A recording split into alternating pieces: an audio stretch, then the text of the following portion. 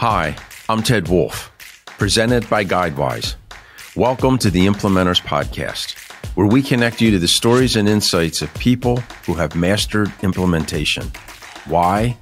Because ideas are easy, but implementation is hard. Join us as we uncover the secrets of successful implementation so you can conquer your implementation struggles. Welcome to the Implementors Podcast presented by GuideWise, where we focus on the topic of implementation because ideas are easy, implementation is hard. Today, my guest is Patrick Francey. Patrick is an entrepreneur, a real estate investor, a speaker, an educator, a coach, and he's the host of the acclaimed The Everyday Millionaire podcast. Welcome, Patrick. Thanks for having me on the show. Um, what was life like before you reached your current level of success? Take us back to the beginning if you can. Tell us some of the biggest challenges and some of the failures you may have experienced, or I'll say learning experiences that you've had. Yeah, I guess they're all learning experiences, aren't they? And interestingly enough, is that it's only been the past few years that I've even looked and considered myself successful, which is interesting because I've always enjoyed a degree of success along the way. And you know, it's taken me some time, to be honest with you, to get to a point where I can just have gratitude for the life that I have created, that my wife and I have created together. And when I reflect, I go, you know, something as many failures as I've had, learning experiences, and I've had many, and most have been incredibly expensive. I find myself today still wanting to achieve more, still wanting to be more, uh, still wanting to show up and be a contribution. And so understanding all of the things that drive me. So, you know, long story, uh, I've been in business 40 years.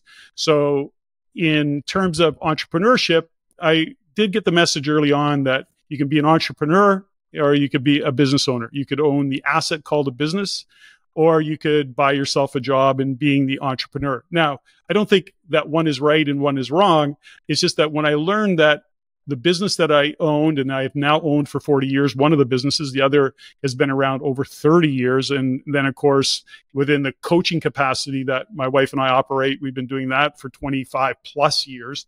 So, all of that is to say that along the way, I'm constantly adjusting and changing and aspiring to be more, have more, achieve more, whatever you want to use as that. And along the way, you know, those things that we call failure or not getting the results that we want are part of the process. And we have to meet resistance, number one, to gain the strength to bust through that resistance and to go to the next level. So, what I've learned philosophically, at least, is that every time I think or feel like I've hit my ceiling of limitation, I have to look at that and go, no, this this ceiling of limitation is my new floor. I just got to bust through the ceiling and make it my new floor. So that's what I would call your high performance mindset. You're geared to say, hey, there's more. I can get more out of myself. I'm going to mm-hmm. continuously mm-hmm. just improve and learn and do everything I can. Um, because the more successful you become, obviously, with the businesses you have, the more you can help other people. And that's the key to the entire entrepreneurial business experience, I think. Yeah, I agree. And I think that to your point is the high performer self, that A type personality, if you will, uh, whatever it might be, is that along the way I've had to learn how to redefine success. There was a point in my life where I probably defined my success as, you know, how much money my businesses were generating, how much revenue or how much income I was drawing. And it was pretty focused on the dollars and cents of it. And as much as that's still one of the, of course, business things that I have to do. Like, you know, I want to make money, I want to be profitable, and all of that. It's less about what drives me. Yes, I want to make money. Yes, I want to be profitable. But now it's in a, I'm in a place where I'm going, I want to continue to make a difference, to be a contribution, to live my purpose and my mission. And along the way, I came to a definition of success for me, which was if I wake up in the morning and I can reflect and say, Am I living my vision? Am I living into my vision? Is this what I signed up for? Is this what I've been trying to create? And if I'm living into my vision, then I consider that successful, whether that be around dollars and cents or just straight out lifestyle or relationships that I might have and new ones that I'm creating. And so, where have I made a difference? Is that part of my vision? And if the answer is yes, then I'm going, yeah, I'm feeling pretty good about it all. So, what made you take the pivot where in the beginning you want to make money, which is very common, mm-hmm. and all of a sudden, now I'm here to help people? Mm-hmm. Well, I think that what started to happen is that as I made money and I started risking more, I realized that because I was making it about the money, that I was also experiencing bigger losses. And so, although that can get a little bit deep and a little bit heady, at the end of the day, what I came to the conclusion was I wasn't really there to make money, although I was. It was what am I doing to bring value to others who would want to pay for it? And so I focused on what is the value? Who are my clients? What is it that I can offer them that's being a contribution that's going to help them achieve their vision, their goals? And when I came to that conclusion, when I came to that place that the products, the services, the team I was building and I have built is really about that front facing. Who are my clients? What are we delivering on? Are we helping them achieve their vision? And when we operate from that place, then we make money and we keep clients and the business continues to prosper. Mm-hmm. So, how do you know when you've actually helped an individual grow and help them overcome some obstacles? Well, in the case of our businesses, you know, I one of my businesses works with young athletes and actually professional and even Olympic class athletes. So for us, it's quite simple in that we know what they're trying to achieve. They want to be the best they can be in the particular sport. In our sport, and the sport that we support is ice skating. So, ice hockey, uh, figure skating, and that's really our focus, helping even minor hockey and minor league players to be their best. But that also extends this many years later into Olympic and professional players. And so, it's all to say that that's easy to measure. You know they're coming to us we're creating relationship with them because in the nature of the business people skate often for a lifetime or they at least skate from the time they're very young to their early or late teens and sometimes into their adulthood if you will. So for us it's easy to see that when we're being a contribution when we're supporting their success it's because we're supporting them in the equipment they're purchasing the skates that they're buying whatever that might be and setting them up and aligning them with where they are intending to go and what it is they're trying to achieve in their own performance on the ice. That's one example. In my other business, the real estate in, investment network, which is REIN Canada, R E I N Canada, we're actually educating investors on how to create a financial future investing in real estate.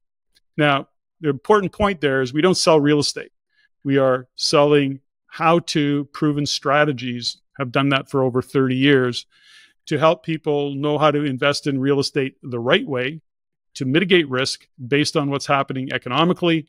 And so it's easy to see that we have an impact because people are going, hey, this works. I'm retiring early, or I've created a very, very powerful financial future, and I feel good about the certainty and the security that I've built. So you're helping people be financially secure and build businesses around themselves and things. And I've been on your website. The website is theeverydaymillionaire.ca. Very nice website. You have a concept that you talk about a little bit called holistic success, I believe you term it. Tell mm-hmm. us a little bit about that.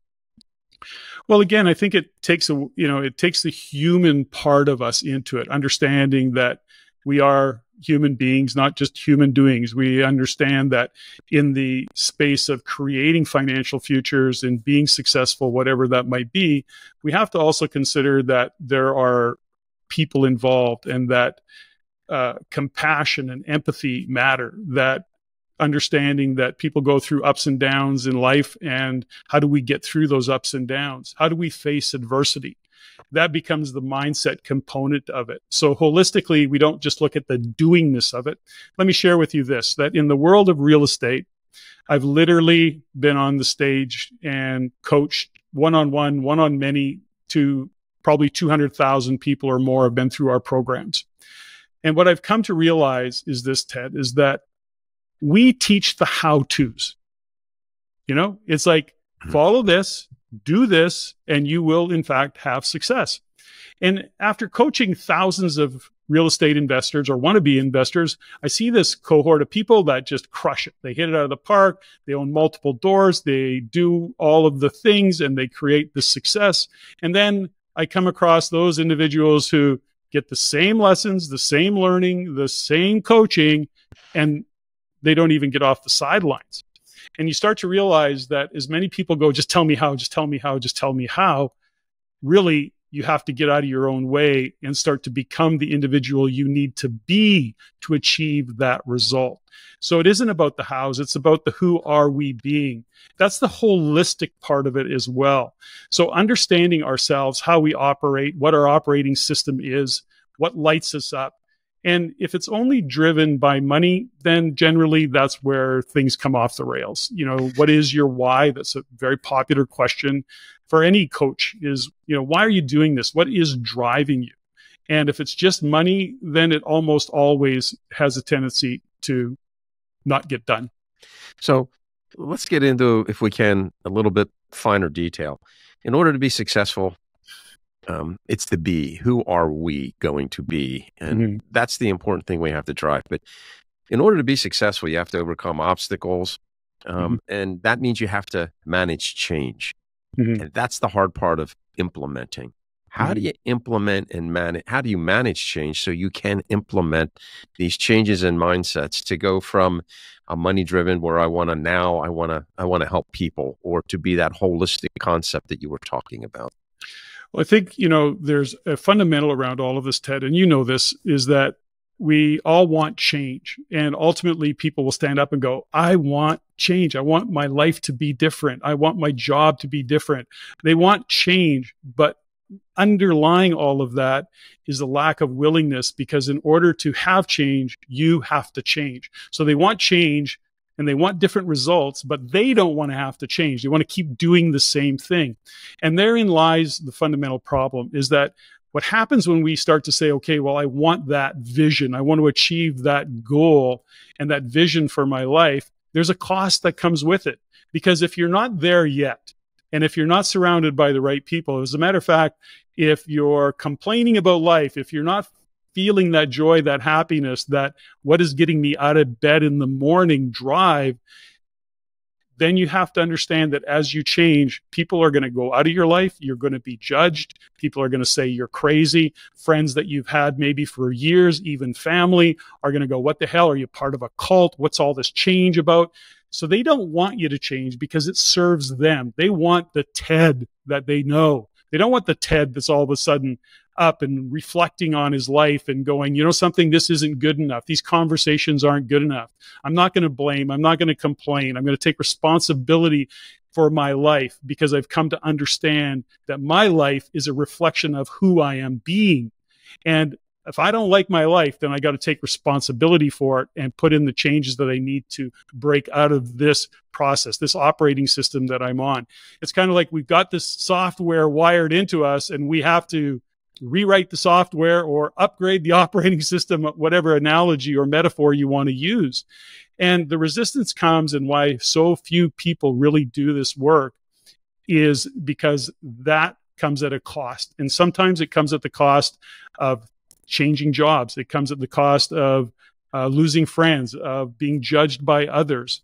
It takes a lot to be a standout. You know, we all can be guilty of living a life of mediocrity because we don't want to get uncomfortable. And making change is uncomfortable. Growing, facing adversity is, in fact, uncomfortable. And some people are just not wired to be willing to go through that transition. Because with transition, and I'll leave it on this note, with change, you have to go through the proverbial eye of the needle. You have to go through the transitional part to come out the other side and go, oh, okay, here I am. I've got to my new floor. Mm. So, how do you, in your experience, what have you found to be the best process of guiding people through that needle to get from yeah. side A to side B? Well, it varies for people. You know, in my own coaching, and my wife and I, my wife is a mental performance coach, Olympic and world class. She works with uh, world and Olympic class athletes. And that's been a, a, a journey of over 30 years to get to where she is today. But ultimately, how do we it depends on the individuals where they're at. Do you understand what your core values are? What do you really stand for? And i'm not talking about moral values you know about uh, how you operate in society. I'm talking about what is important to you. What are your values? What are your core driving values? Do you even understand what they are? Do you know what they are? And are they your values or are they actually your parents' values, or are they values of friends or family that you really don't own, but you live them? So that becomes an integrity question. So the first kind of phase of all of this is to step back and really ask yourself, what are my core values? And am I living my values? Many, and I would risk saying most people are not. They're living a life, they're in a TikTok world, not satisfied, not feeling good about themselves, and living a set of values they're not even aware that they're living until they stop and reflect. And you know, I work with a men's group that when I first started with them in this particular program many years ago, I asked these men, I go, so tell me, at the end of a day, at the end of a week, on occasion, do you stop to reflect about what your thoughts are? And I was actually surprised that in that group of 18 men, 16 of them said no. So to actually do the work called, I'll take responsibility for my life. In order for me to change, I have to start to understand myself. And self reflection is the key to all of that. That awareness is always the first step. I hope that answered your question. I know it was a long answer. No, no, it was absolutely fabulous answer. Fabulous answer. Very articulate. So, when you found the 16 men, you discovered that they were not reflecting on their thoughts. They were mm-hmm. not improving their self awareness. Mm-hmm. How would you lead them into the process, into the needle of saying, let's take a look at ourselves? Well, let's first off say, you know, what are our values? You know, something if I ask somebody what their core values are, and I'll say, give me your top five, because our, re- our life is a reflection of our values. That's full stop. Our life is a reflection of our values, whether they're intentional or not. And so some men have said to me, and some people, because we do it with both men and women, but this happened to be a men's group, they go, Well, I don't know what my core values are. Like, I, I really don't know. Family, I guess, for sure. You know, and then they use words like integrity and they all sorts of things. So the test for you in terms of if you're trying to discover what your values are, it's really quite simple. What do you think about? What do you talk about? What do you spend your money on? What do you surround yourself with? And what do you do on a day to day basis in terms of your activity? And that could be recreation, that could be job. When you look at that part of it, you are living into those values. We can't help it, by the way. Again, you don't have to be conscious of what they are. You are living your values. And so ultimately, if I get into the intellect and I say, What are your values? They say all the right things. Well, family, nothing's more important than family. My kids, nothing's more important than kids. If I ask women that question, they'll say, Oh, nothing's more important than my husband and my kids. Nothing's more important than my family, my community, my church, my in laws, whatever the case. They always are kind of, not always, they're often in that space. But when you really break that down, you go, Oh, really? So tell me about that. Nothing's more important than your family. Okay, great. So share with that. What what time do you get up in the morning? Well, I'm up at six o'clock in the morning. And then what happens from there? Well, I, you know, I get ready for work and I head to work and I usually walk out the door by 7:30. Okay, great. Do you work out? Do you train? No, no, no, no. I I give the kids breakfast and then I'm off. Okay, great. So that's that sounds pretty cool. And what happens when you get home? Well, I have to work late often or I'm traveling. And so then you start to unpack all of the minutia, the details of life, and you start to understand that although family they say is at the top list of their list, they are actually living a life that family's way down here and there are another three, four, five things that actually are over top of family. Now, that's not to say that's pretty normal, by the way. And that's hmm. okay. But then you say, well, no, but I want family to be my core value. I want it to be the most important to me. Well, then you have to make different decisions. So as we start to unpack what our, what values we're living versus what we say our values are, it opens up a whole conversation of discovery. And again, this is the the journey of self discovery is in reflection. You know, the quality of the questions you ask yourself is a really drives the quality of the life that you will live. And so important to keep asking those questions, not up here, but getting beneath the surface. Mm-hmm. Is that helpful? So, yes. So you've been in work 30, 40 years in your businesses, which I think is a tremendous accomplishment since you're only 29 years old. Yeah, exactly. But, uh, but what has been the, the biggest catalyst to make people change that you've seen? I don't know that there's any one catalyst. I think that ultimately we have to look at our life and say, do we feel joy? Do we feel happy? Do we feel secure? Are we lit up? Are we excited about our life? And can we feel grateful? So if the answer to that is no, if you're grinding it out of bed in the morning, if you're wanting to hit the snooze button, if you're dissatisfied with your relationships, you're pissed off at some friends, you're complaining, you're blaming, you've got a low adversity quotient, a low AQ or a low EQ, um, emotional quotient. If you start to recognize just how low those things are, then that will often drive change. Sometimes it's a significant other going, either you get your shit together or I'm done you know there's those those fork in the road moments. Sometimes it's a health scare. You know there's different i guess inspiration if you will for making a change in your life. And it can either come because of choice or because you've got no choice or suffer the consequences of not changing.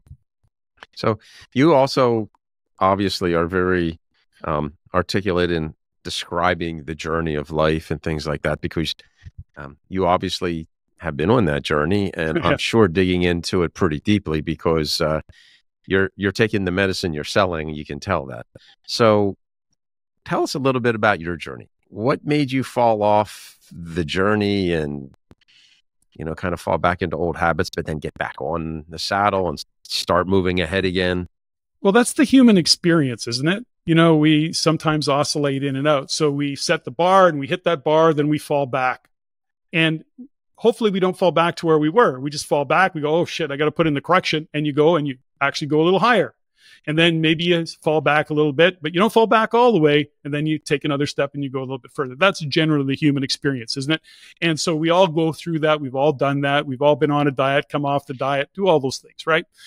But, you know, my journey started literally i turned 66 years old this year and i and I'll, I'll, touch on that briefly but you know i've been together with my wife today for 35 years and she was definitely and I, I, married up without question, you know, and she used to refer to me as her favorite Neanderthal. And I say that with the most kind of biggest smile and most fun because I reflect back on that time in my life.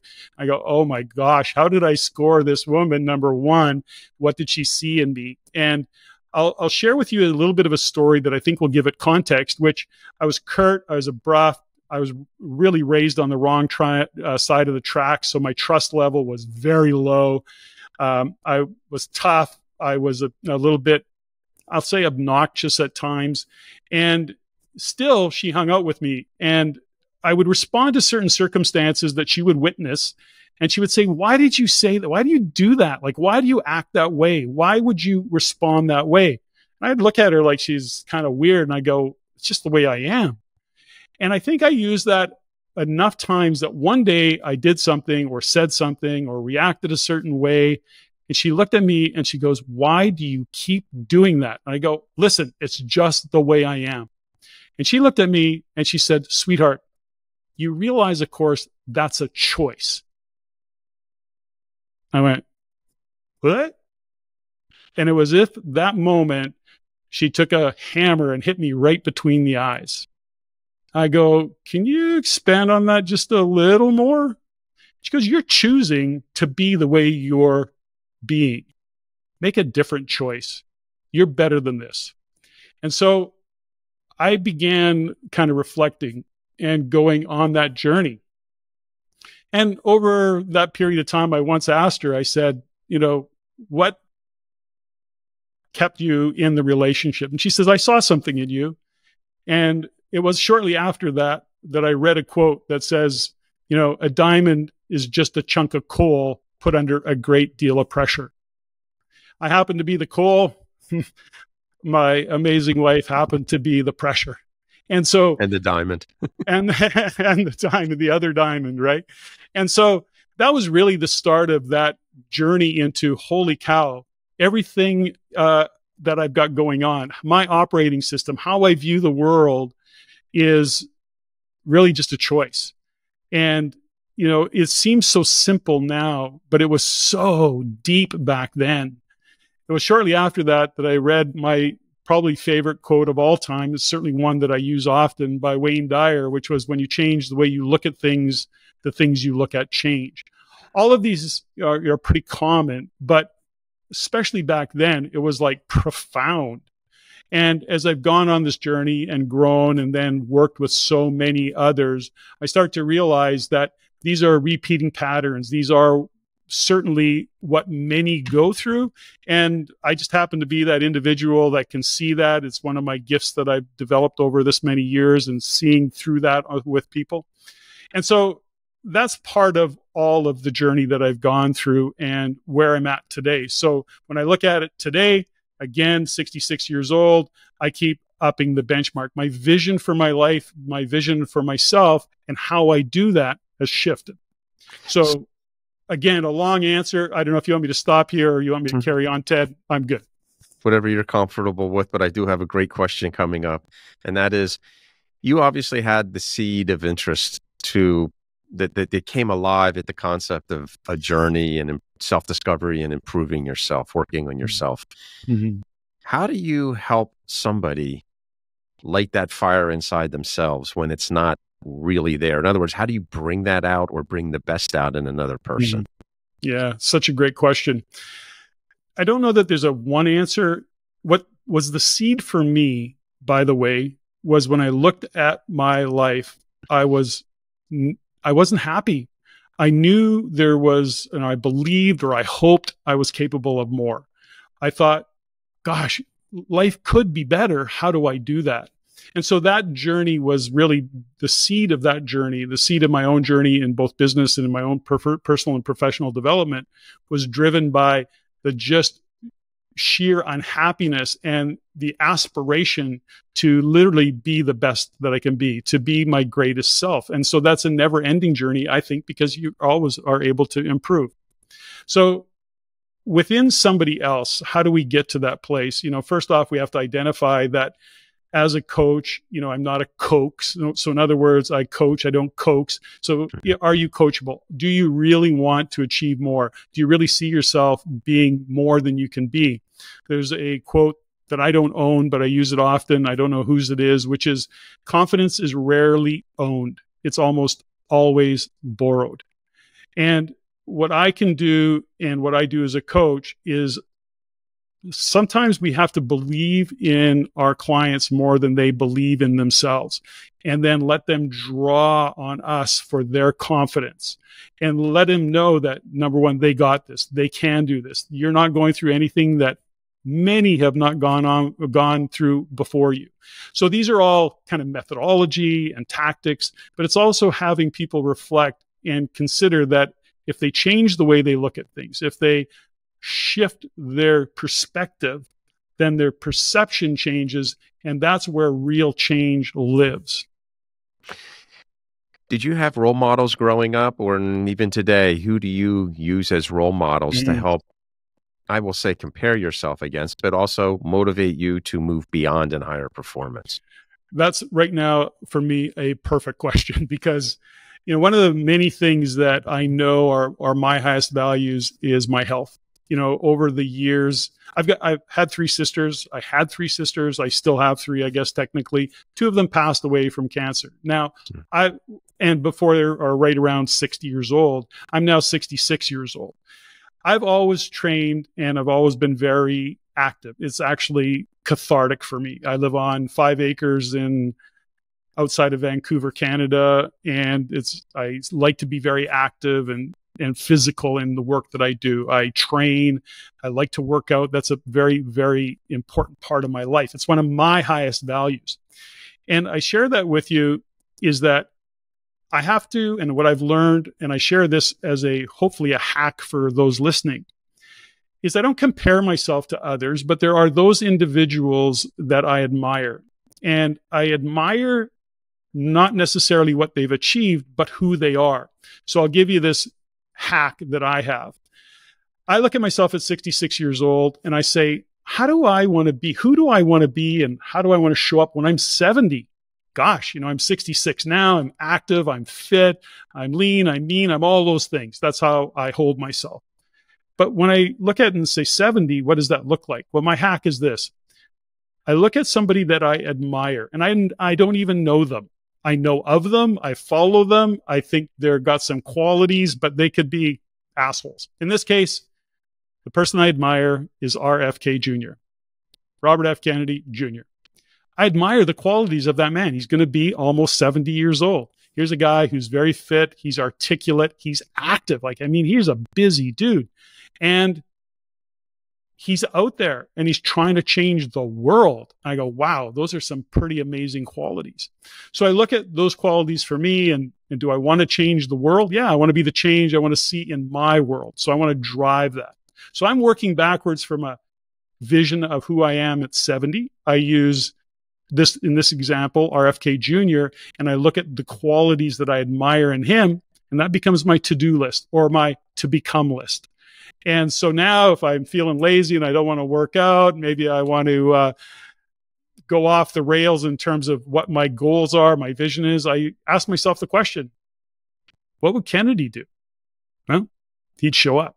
He'd be back in the gym. He'd say no to that bowl of ice cream, and that's not for me to say I'm going to deprive myself of all the fun things in life, mm-hmm. but it is a, a way for me to stay grounded in my vision. It's more concise.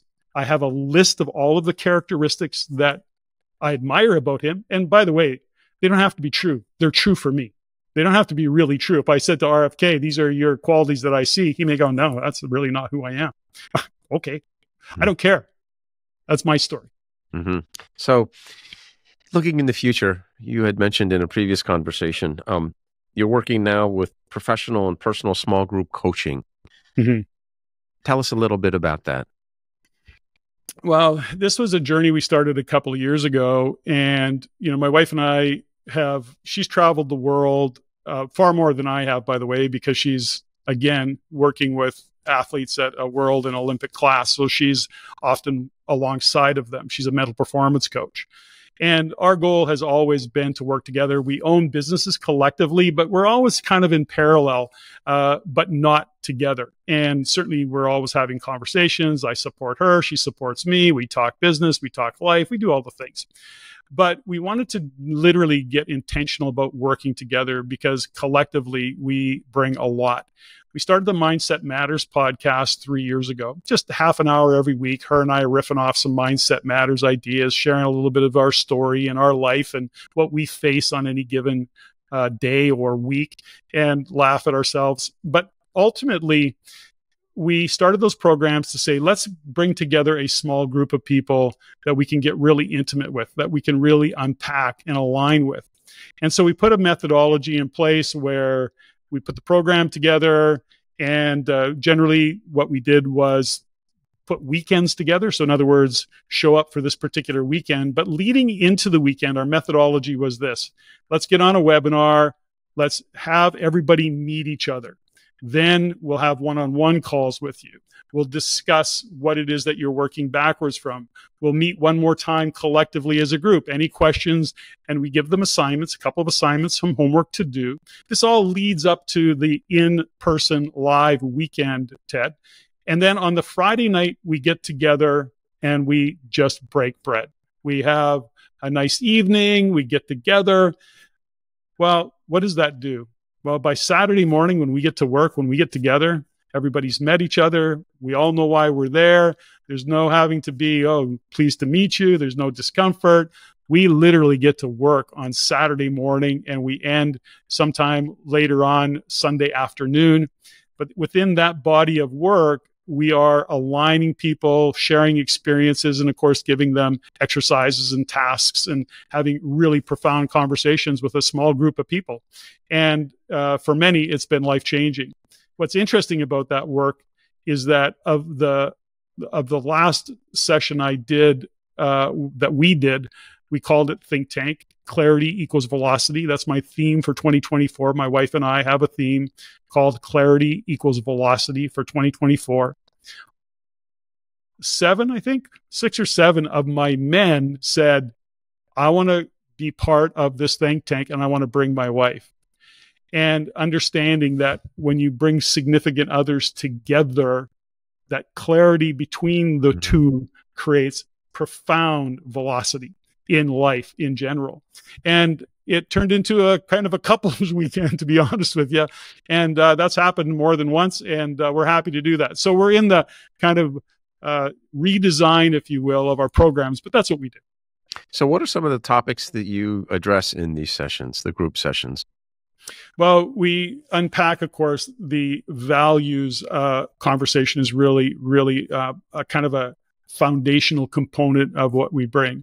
The other side of that is a reflection on really looking at what is the vision for your life.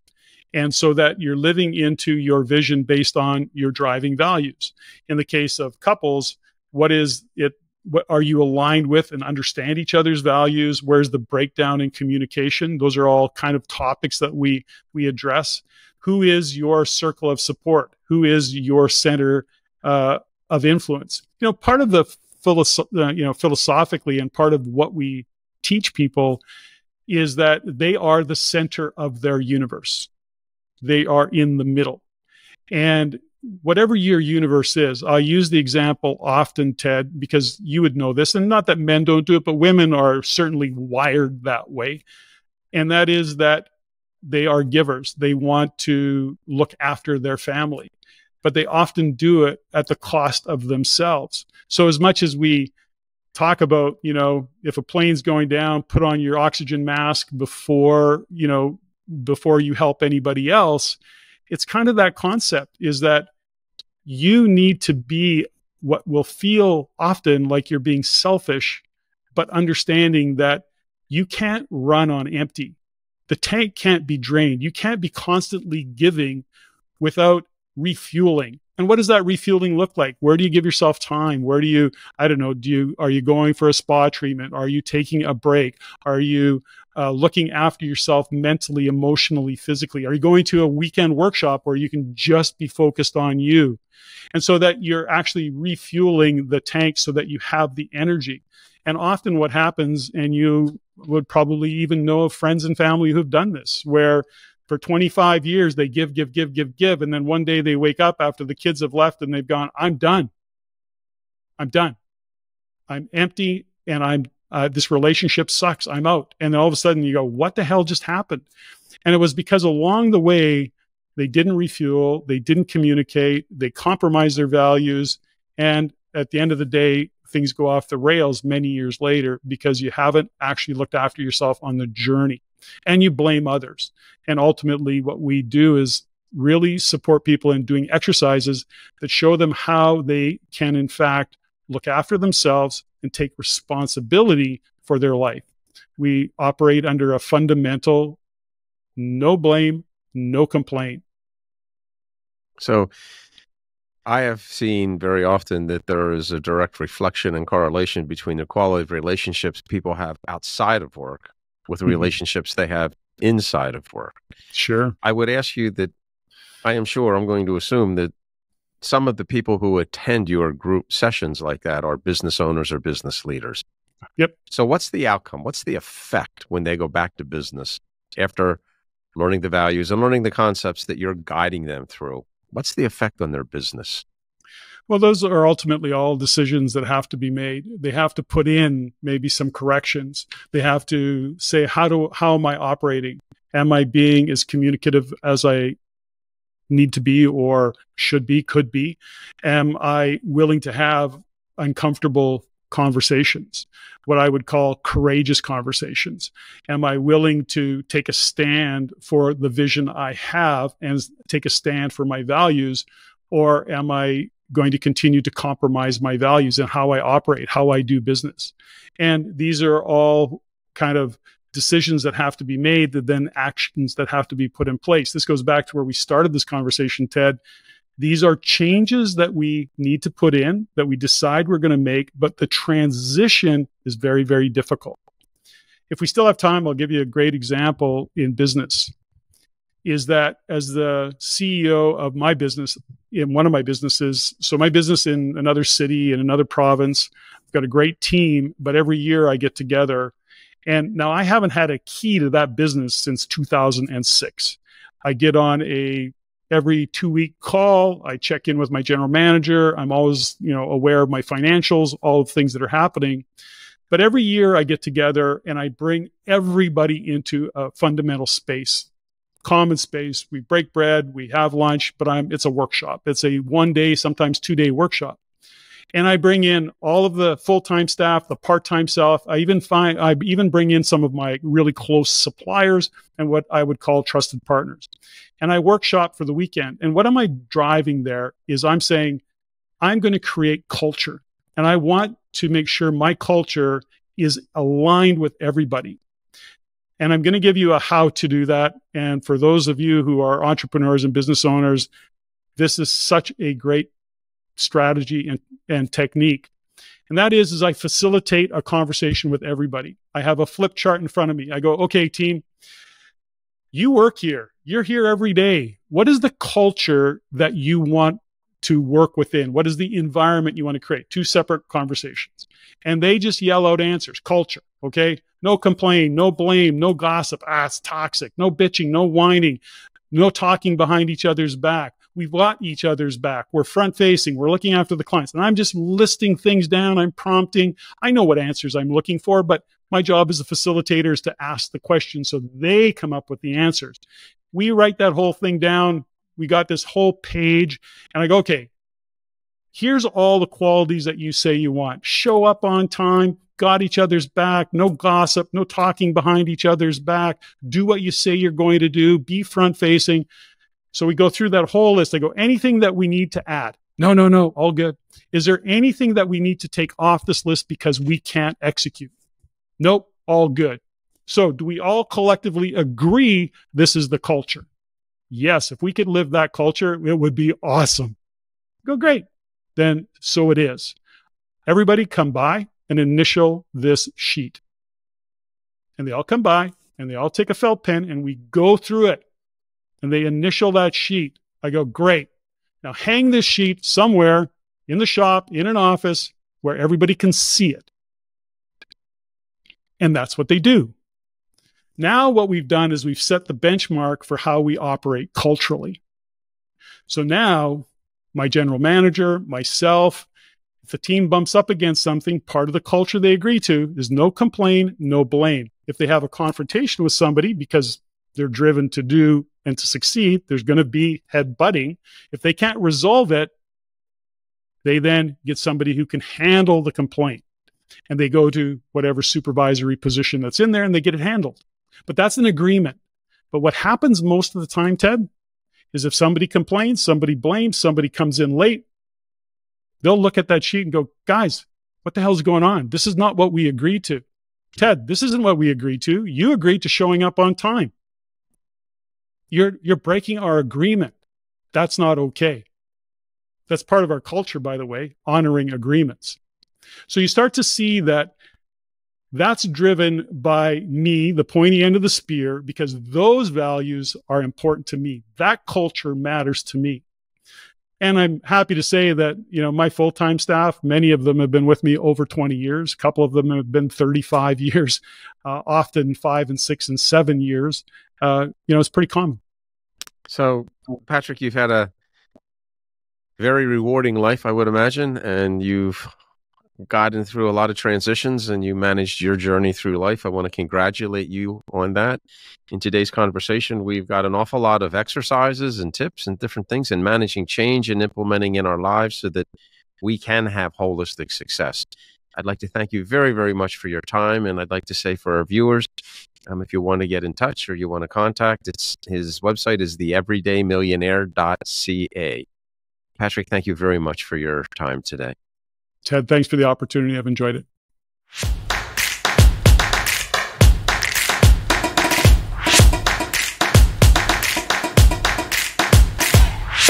Hi, Ted Wolf here.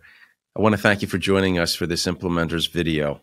The Implementors podcast is presented by GuideWise, where we, along with our vetted member community, recognize that ideas are easy, but implementation is hard. To learn more about getting things done with GuideWise, please visit us at guidewise.io. And to conquer your implementation struggles, please like and share this video and subscribe to our channel. Happy implementing.